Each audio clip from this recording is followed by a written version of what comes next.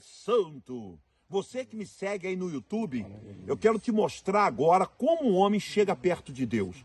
Ataviado, de terno e gravata, buscando a Deus na beleza da sua santidade pela madrugada. Muitas das vezes você não vai entender se você também não buscar a Deus. Fugir da aparência do mal, se santificar segundo a palavra de Gênesis Apocalipse. A igreja do Senhor é santa e imaculada. E presta bem atenção no que eu vou te falar. Quando Salomão ele apresentou a casa ao Deus vivo. Diz a Escritura Sagrada que quando ele fez a oração no templo que ele edificou a Deus, a glória de Deus desceu naquele templo. Ali estava a arca do concerto, que já não tinha mais a vara de Arão, nem o maná do céu, mas tinha as leis.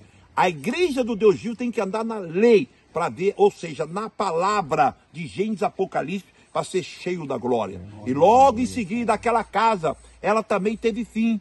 Aí veio o segundo templo, feito não por mão de homem. O próprio Jesus habitou na terra. E ele mesmo se apresentou como carta escrita, não com tinta nem com lápis, por onde ele passava, a glória de Deus descia. Levantou os apóstolos, e os apóstolos também eram usados por Deus, assim como ele, e fazendo sinais maiores do que o dele, porque acreditaram na palavra, como diz Paulo, que nós somos carta escrita, não com tinta nem com lápis, mas com o Espírito Santo. É bom você buscar o Senhor nos montes, olha aí a mata. É bom você buscar o Senhor no jejum, na oração, Aleluia. na santificação, fugir da aparência do mal, ser membro de uma igreja,